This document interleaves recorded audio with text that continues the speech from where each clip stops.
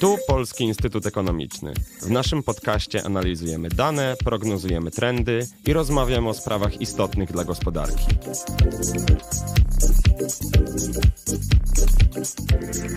Nazywam się Tomasz Mądry, jestem analitykiem z zespołu zrównoważonego rozwoju w Polskim Instytucie Ekonomicznym, a dzisiaj moją i Państwa gościnią jest prezeska zarządu Fundacji Najpierw Mieszkanie Polska, Julia Wygnańska. Cześć.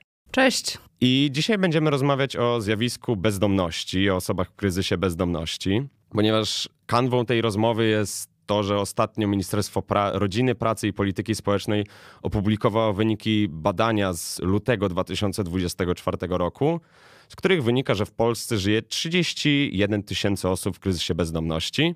Ostatnie takie badanie miało miejsce w 2019 roku, było zaplanowane na 2021, ale z powodu pandemii COVID-19 to badanie się nie odbyło i wtedy ta liczba również wynosiła około 30 tysięcy, tam około 29 800 czy coś takiego.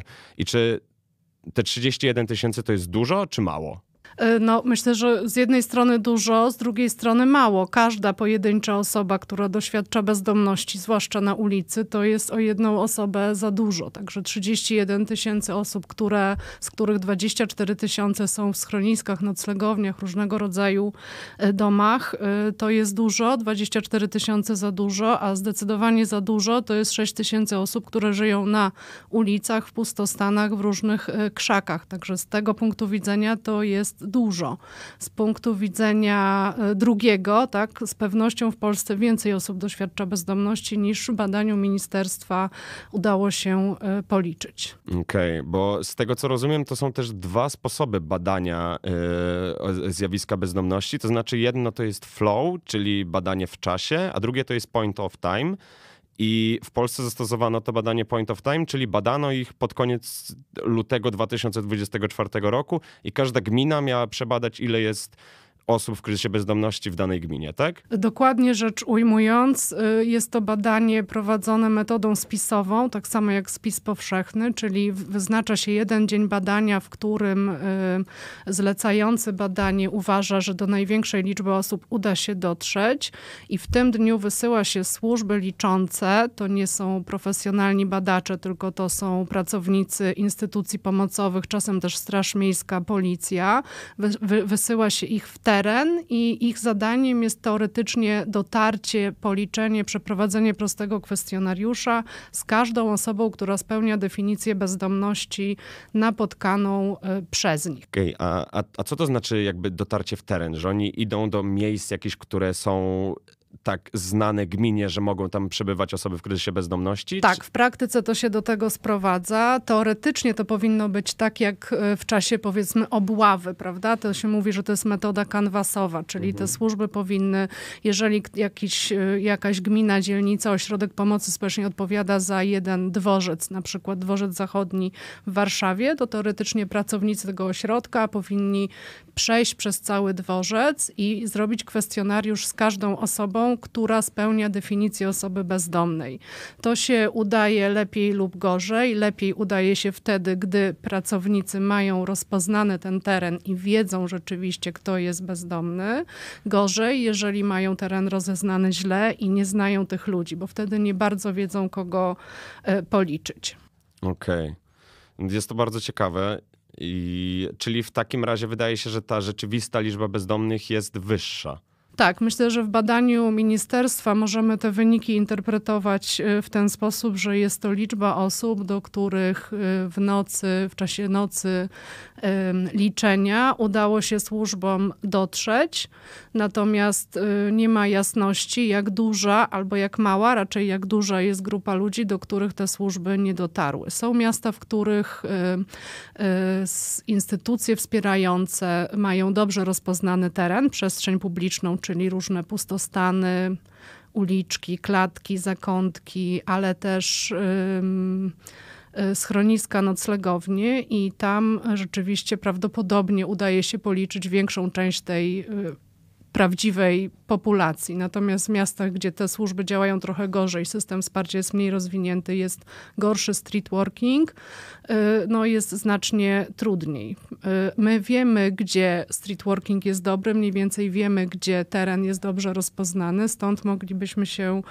pokusić o jakieś takie oszacowanie poprawności, przynajmniej powiedzieć, że jakoś to zważyć, tak, że tutaj mamy gminy, w których to było zrobione powiedzmy z prawdopodobieństwem tu procentowego dotarcia do całości populacji. Tu są gminy, gdzie to prawdopodobieństwo dotarcia byłoby mniejsze, a tu są takie, gdzie dużo mniejsze. I wtedy moglibyśmy przeliczyć dane o te wagi uzyskane w liczeniu i mieć jakąś bardziej realną liczbę.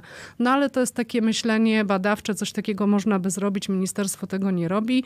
Ministerstwo publikuje uzyskane dane z liczenia jako rzeczywistą liczbę osób doświadczających bezdomności w Polsce. Mhm. Tutaj jeszcze warto wspomnieć, że ta metoda w punkcie w czasie obejmuje w wydaniu według metodologii instrukcji ministerstwa, obejmuje określone sytuacje mieszkaniowe.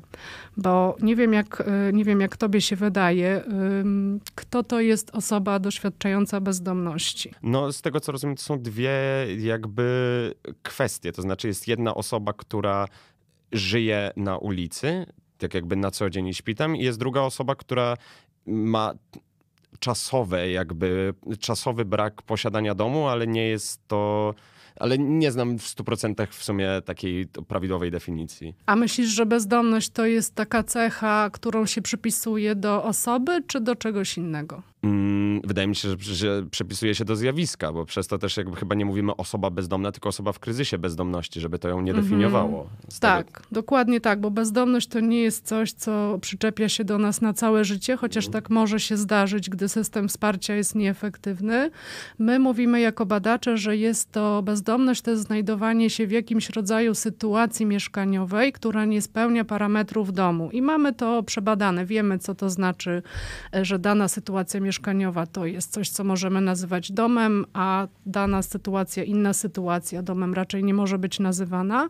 I mamy taką typologię operacyjną, y, która wyróżnia 13 sytuacji mieszkaniowych, w których znajdowanie się oznacza bezdomność lub bezpośrednie nią zagrożenie. I badanie w badaniu ministerstwa dociera się z definicji tylko do osób, które są w części tych sytuacji mieszkaniowych. Na przykład to, dotyczy to zazwyczaj, wiemy to z badań y, na świecie i wiemy to z takich obserwacji y, klientów, osób, którym, y, którym pomagamy.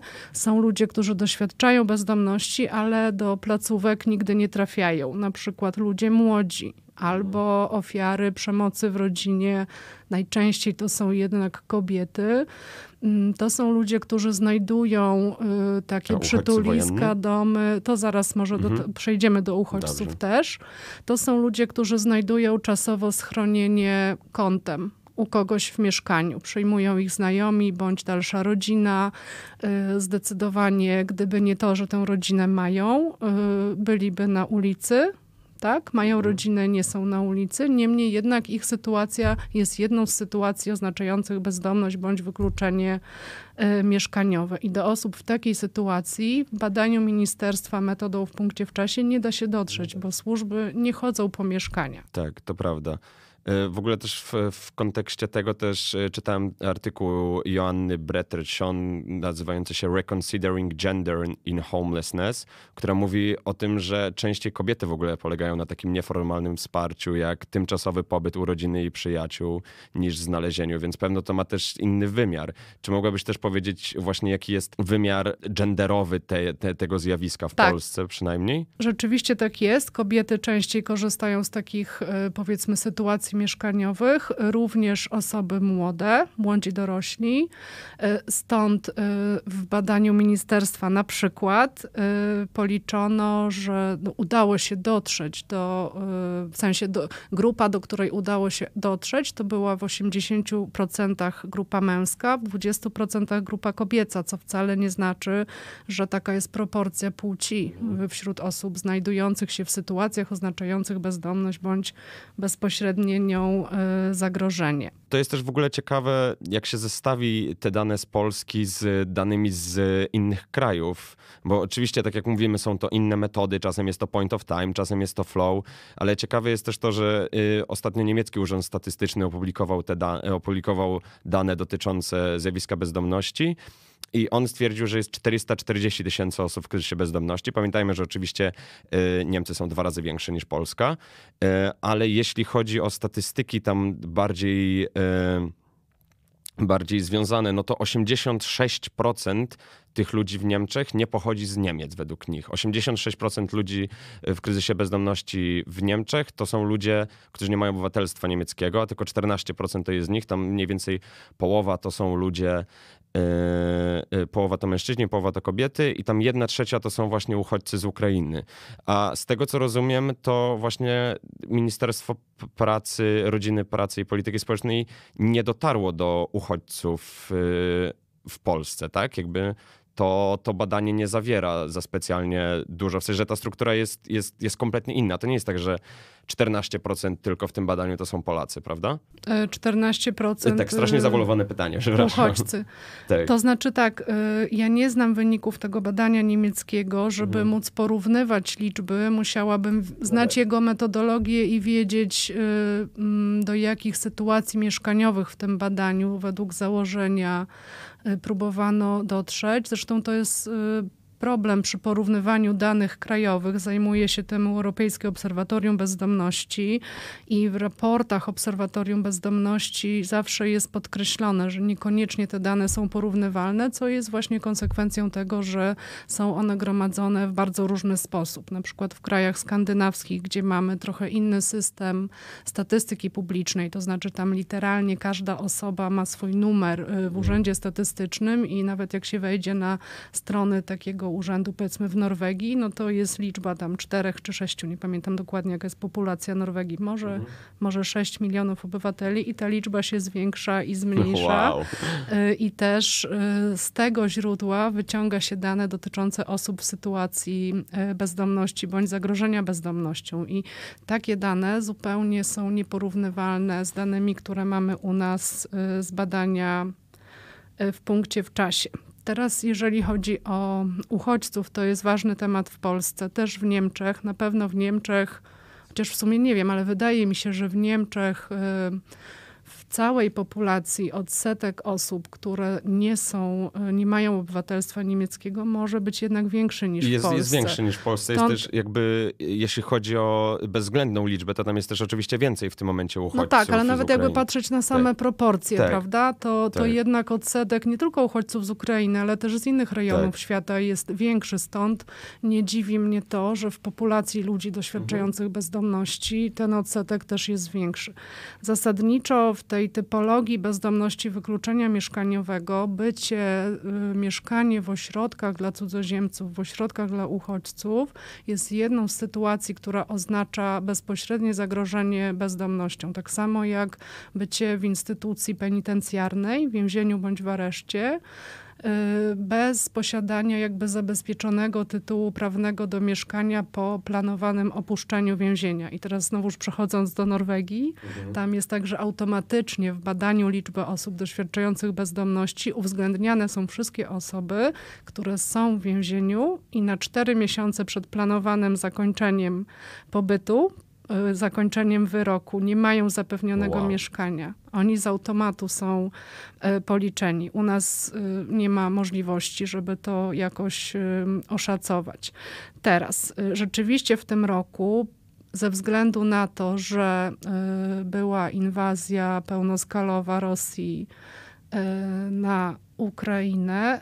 Y, bardzo dużo uchodźców pojawiło się w naszym społeczeństwie właśnie z tamtego kraju, stąd też um, organizacje Rzecznik Praw Obywatelskich y, apelowali do ministerstwa, żeby uwzględniło tę grupę, zwłaszcza, że wiemy, że no, część tych ludzi zdecydowanie przebywa w sytuacjach no, bardzo podobnych do schronisk mieszkaniowych. Mhm. Tak? Wszyscy słyszeliśmy w Warszawie o takim centrum na Modlińskiej, tak, tak. o tym centrum Ptak tak, w Nadarzynie. No to po prostu były zbiorowe hale, w których byli ludzie po prostu bezdomni, nie mieli żadnego innego dachu nad głową. Stąd e, chcieliśmy, żeby badanie bezdomności w Polsce rzeczywiście obejmowało ludzi doświadczających bezdomności, a nie Polaków doświadczających mhm. bezdomności. I do instrukcji e, do tego badania ministerstwo wprowadziło takie zalecenie i też wprowadziło taką sytuację mieszkaniową. Natomiast patrząc na wyniki, zupełnie się to nie udało. Być może dlatego, że też nie było kwestionariusza w języku ukraińskim, nie mówiąc o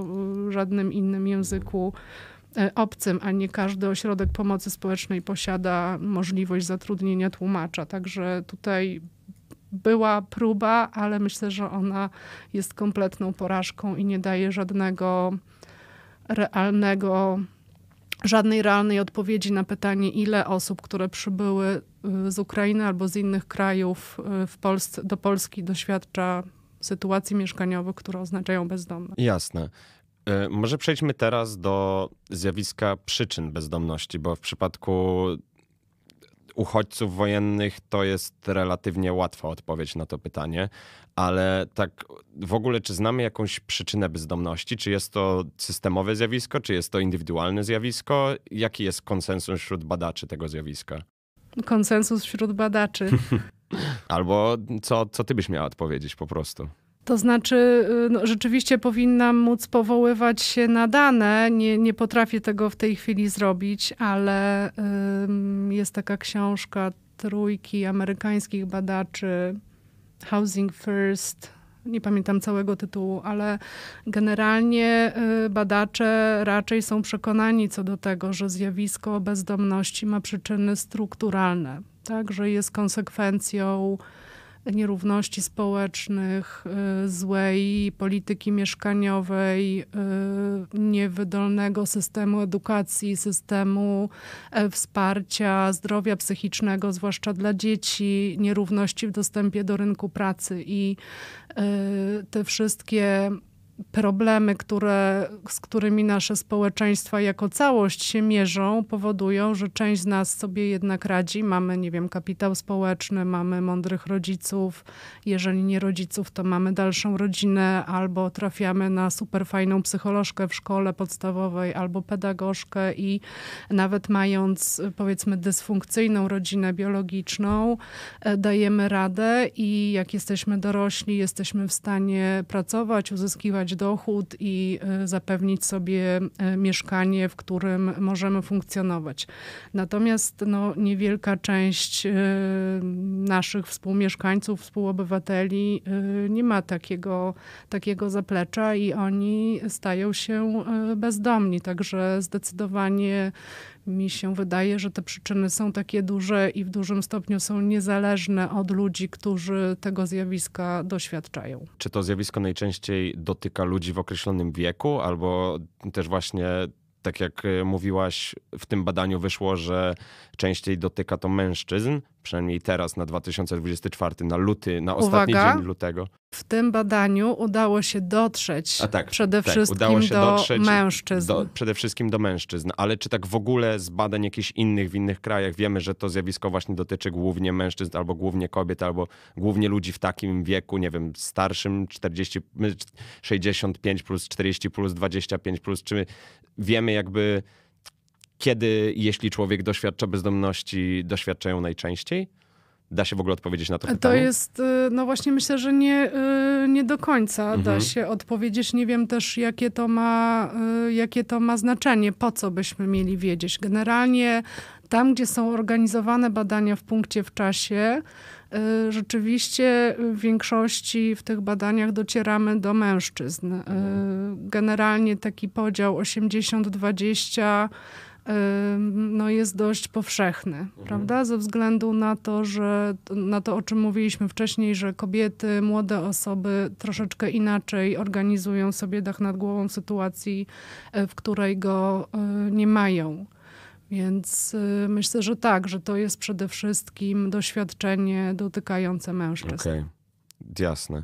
To trochę mówiliśmy o przyczynach, a może porozmawiajmy o rozwiązaniach w ogóle, czy ten. Tak, właśnie problem... bardzo, bardzo jestem wdzięczna za to pytanie, bo rzeczywiście my też zabiegaliśmy o to jeszcze z poprzednim rzecznikiem praw obywatelskich Adamem Bodnarem zabiegaliśmy o to, żeby ministerstwo w swoim badaniu nie tyle koncentrowało się na przyczynach, bo rzeczywiście w tym kwestionariuszu przyczyny, które są wymienione do wyboru, raczej są indywidualne, tylko y, chcieliśmy zmienić optykę patrzenia y, na to zjawisko pod kątem rozwiązań. Bardziej chcieliśmy, żeby osoby były pytane, czego, jakie mają problemy, które wymagają wsparcia. Tak? Czy to są problemy osobiste, zdrowotne, czy to są pro problemy związane z zatrudnieniem, z dostępem do mieszkania, bo to daje nam lepszą wskazówkę do tego, w jaki sposób y, planować rozwiązania. Mhm.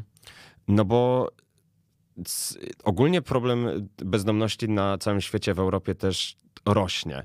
I to jakby w ciągu dekady to zjawisko z niektórych badań, z których znalazłem, też oczywiście pewno znasz się na tym lepiej, ale znalazłem, że w Europie to zjawisko wzrosło przynajmniej o 70%, ale są też kraje, w których udział bezdomnych w populacji spada. Bo tak jak mówiliśmy wcześniej, ciężko porównywać powiedzmy Polskę i Niemcy pod względem e, udziału populacji w kryzysie bezdomności, ze względu na może jakieś inne metody, ale wydaje się, że da się porównywać na przykład taką Finlandię z 2010 do Finlandii teraz, bo w Finlandii udział bezdomnych spadł z 0,15% populacji w 2010 roku do 0,06% w w 2022 i z tego, co ja rozumiem, to wynika głównie z programu Najpierw Mieszkanie, Housing First, który został wprowadzony w Finlandii, więc jakbyś mogła opowiedzieć o, o w ogóle tym programie i Housing First, Najpierw Mieszkanie, o czym, co to właściwie jest?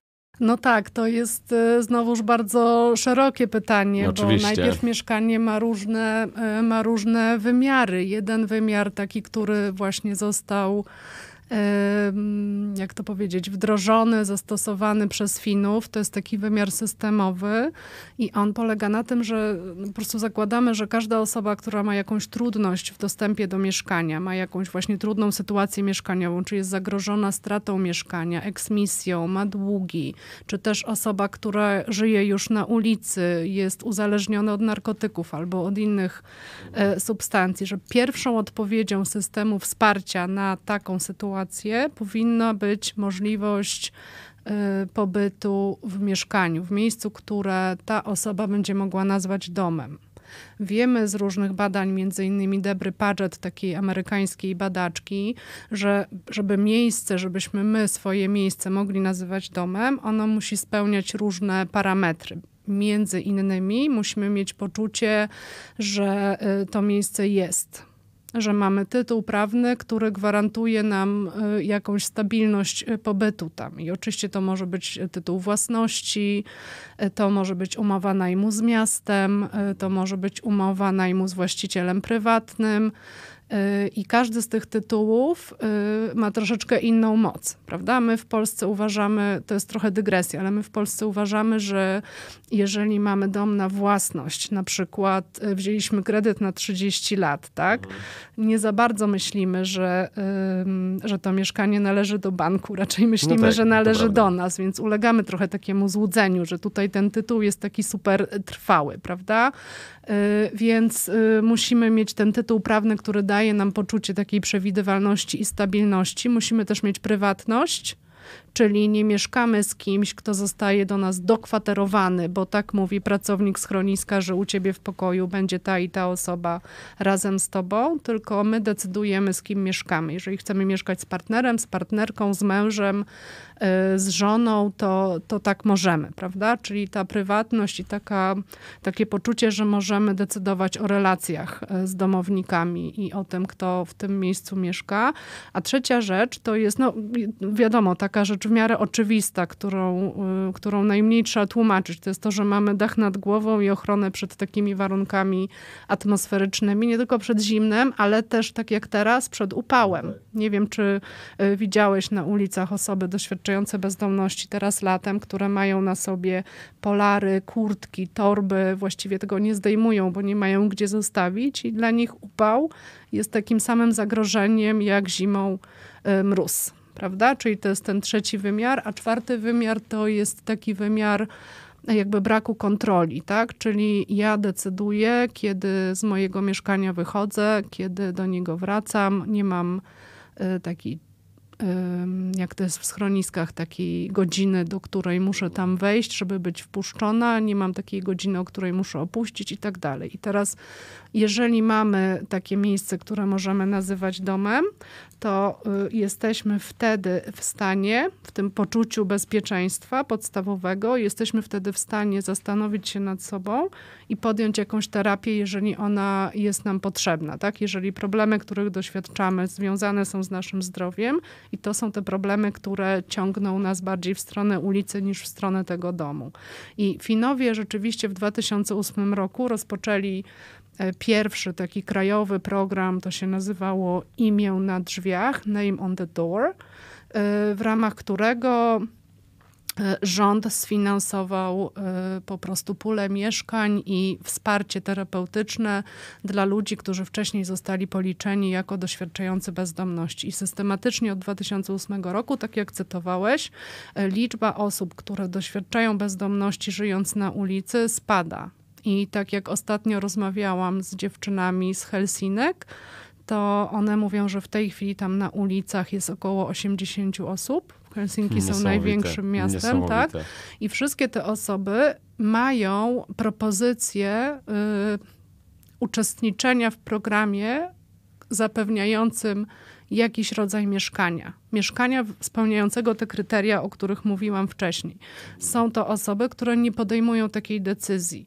I to jest jedyna sytuacja, w której moim zdaniem możemy mówić, że są to osoby bezdomne trochę z wyboru prawda? Bo wybór mamy wtedy, gdy mamy jakieś alternatywy, między którymi wybieramy. Mhm. Tak? I oni tam te alternatywy mają.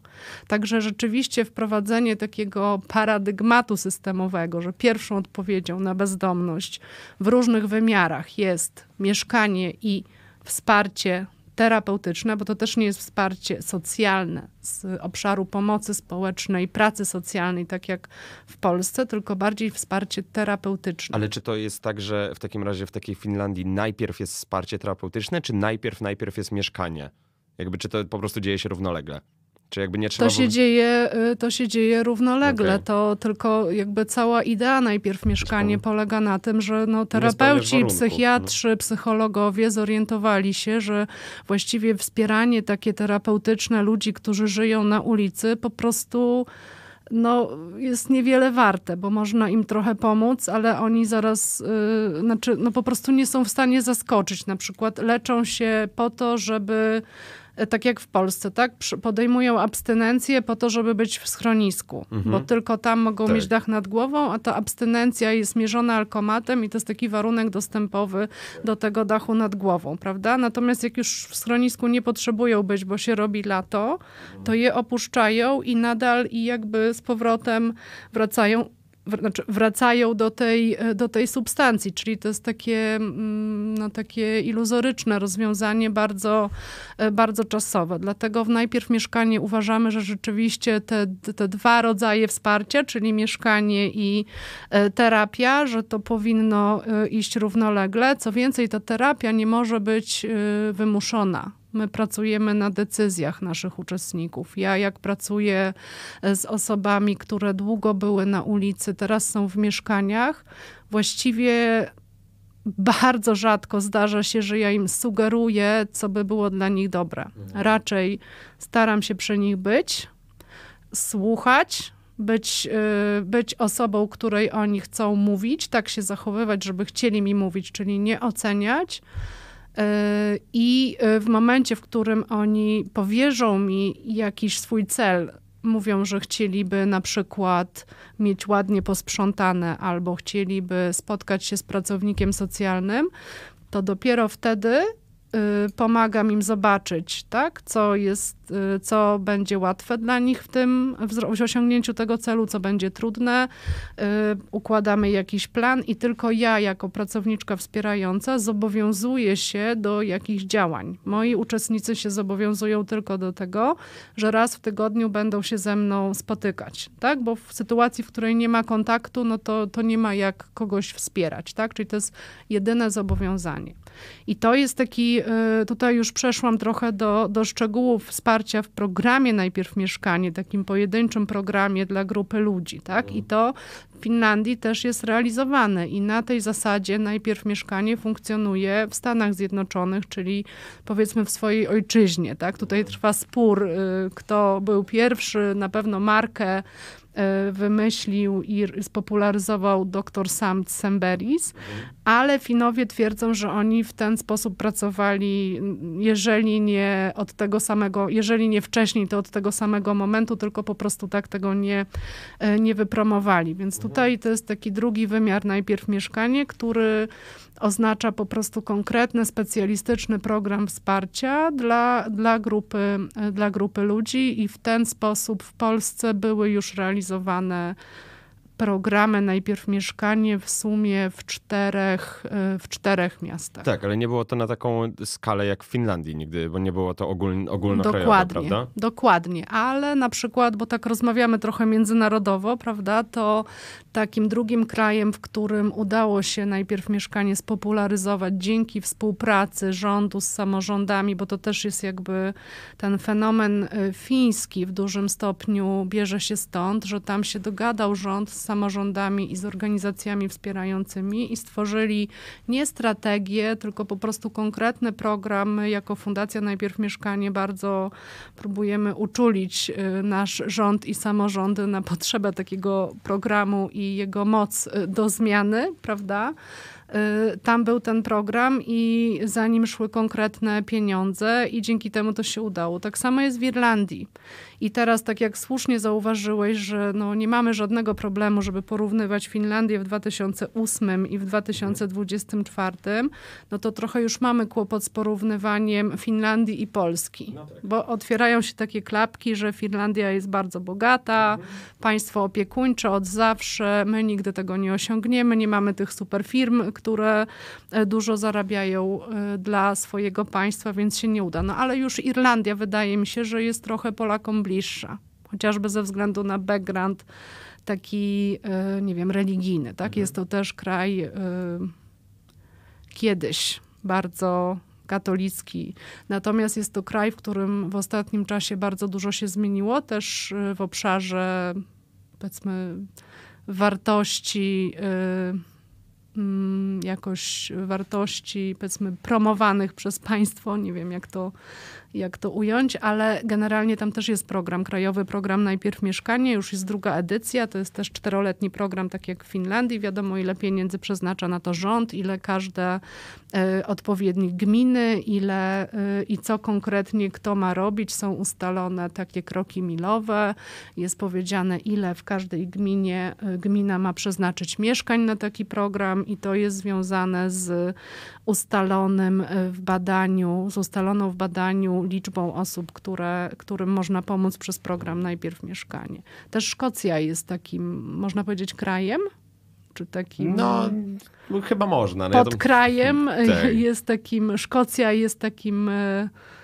miejscem, e, w którym e, najpierw mieszkanie bardzo spopularyzowano i tam rzeczywiście wskaźniki bezdomności wśród osób długotrwale bezdomnych z podwójną diagnozą spadają. No ale Szkocja też jest przy, z pewno specyficznym przypadkiem, bo tam poza Glasgow i Edynburgiem to jest bardzo niska gęstość zaludnienia w gruncie rzeczy na tak dużym kraju. No, na wyspie Skye na przykład mieszka 10 tysięcy ludzi, więc tam jakby prawie nikogo nie ma w gruncie no, rzeczy. No okej, okay, ale jakby ten argument zostawić z Finlandią. No tak, no to prawda. No. Gdzie jest powiedzmy, no tak, może no. nie dwa, ale pięć dużych miast. Tak. Y nie wiem, czy populacja Finlandii jest większa niż Szkocji. No, chyba podobna, chyba no podobna. Właśnie. No. Nie, nie, nie, ja, oczywiście to nie jest argument jakby przeciwko jakby temu programowi e, ani z tych rzeczy, tylko taki, taka dygresja też na marginesie. W ogóle warto też stwierdzić, że ci ludzie, którzy w tym momencie są dzięki programowi Najpierw Mieszkanie w Finlandii pracują, to oni jakby stanowią wartość dodaną dla gospodarki. W tym momencie nie trzeba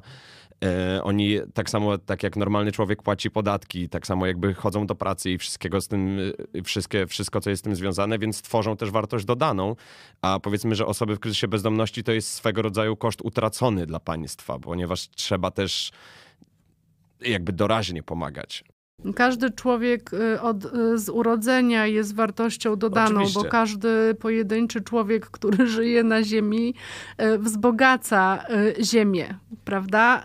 Więc przepraszam, no trochę tak no, może tak, tak. łapie cię za słówka, tak, wiadomo, ale wiadomo. generalnie tak. Natomiast ten program Najpierw Mieszkanie, gdy jest taki specjalistyczny, jest przeznaczony dla osób, które długo były na ulicy, długo doświadczały bezdomności, mają zaburzenia psychiczne, zazwyczaj co najmniej dwa, tak? Uzależnienie i w Polsce to jest tak, że często pod spodem jest, właściwie nie powinnam mówić często, bo nie ma na to danych, mhm. ale wszystkie osoby, które trafiły do programów Najpierw Mieszkanie, oprócz uzależnienia miały jakieś e, zaburzenia bądź choroby psychiczne, więc e, to są ludzie, którzy po takim doświadczeniu życiowym niestety rzadko są w stanie pracować mhm. i jeżeli e, musimy, tak, i naszym celem, takim głównym wskaźnikiem efektywności naszych programów jest to, że ludzie, którzy wcześniej wiele lat żyli na ulicy, bytowali w schroniskach, y, to, że oni chcą i potrafią wykorzystywać te zasoby, które mają, do tego, żeby w mieszkaniu być i w nim zostać.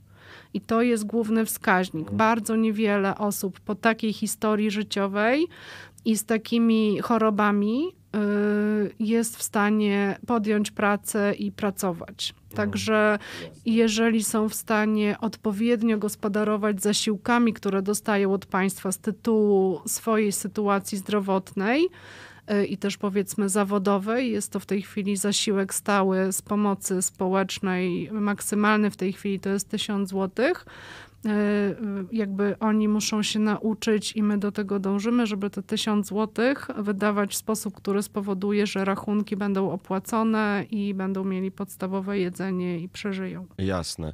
To może na koniec zapytam się też o nie takie systemowe rozwiązania jak najpierw mieszkanie, tylko bardziej oddolne rzeczy w stylu, no nie wiem, wydawki dla osób w kryzysie bezdomności organizowane na, chociażby przez Food Not Bombs czy w krakowską zupę na plantach czy tutaj warszawską empatię distro i jakby czy to jest coś, co, co, co przynosi jakby co wiadomo, że nie jest to systemowe rozwiązanie, ale czy można powiedzieć, że takie rozwiązanie oczywiście e, w cudzysłowie coś daje? No, oczywiście, no, y, trzeba by jakoś roz, rozbroić ten no tak. termin rozwiązanie systemowe, tak. prawda? Bo jeżeli jakby wydawki jedzenia mogą być systemowe, jeżeli taka wydawka jest y, powiedzmy w każdej dzielnicy codziennie, prawda, i jest organizowana przez państwo, jest jakoś przewidywalna i, y, i po prostu się dzieje. Wiadomo, że możesz w tych miejscach dostać jedzenie, jeżeli jesteś głodny, prawda? To mhm. to jest wtedy systemowe. Natomiast z punktu widzenia nie wiem, systemowości rozumianej jako efektywność, tak? jako takie działanie, które spowoduje, że ludzie przestaną być bezdomni, przestaną doświadczać bezdomności, no to niekoniecznie, aczkolwiek jest to taki kamyczek, który jest super potrzebny, bo y, rzeczywiście y, ludzie bywają głodni, bywają spragnieni, nie tylko ludzie doświadczający bezdomności, ludzie, którzy mają mieszkania i dochody przeznaczają na to, żeby je mieć, tak? co powoduje, że Y, na jedzenie im zostaje bardzo niewiele. To są kwoty na poziomie minimum nie tyle socjalnego, ile minimum egzystencji, prawda? Więc y, myślę, że to są działania bardzo potrzebne, aczkolwiek powinniśmy wiedzieć, y, jaka jest ich moc. Tak? To jest moc utrzymania przy życiu, zaspokojenia podstawowej potrzeby, jak jaką jest y, właśnie jedzenie, picie. Natomiast no, to nie jest coś, co zakończy bezdomność. Tutaj potrzebujemy więcej i ja lubię takie takie rozwiązanie promować.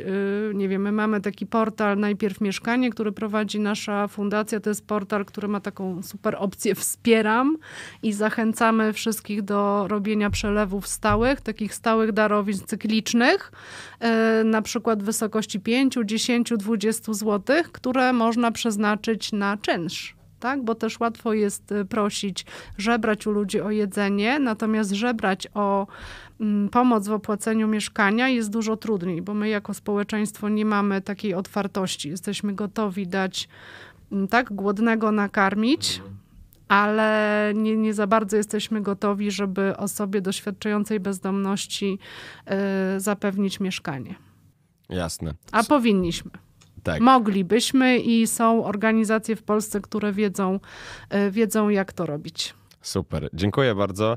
Przypomnę, że moją i Państwa gościną, gościnią była prezeska zarządu Fundacji Najpierw Mieszkanie Polska Julia Wygnańska. Dziękuję bardzo. Bardzo dziękuję. A Państwa zapraszam do słuchania innych podcastów podcastu Polskiego Instytutu Ekonomicznego.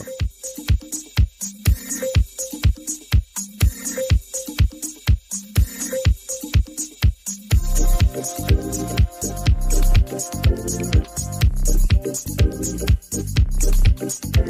you.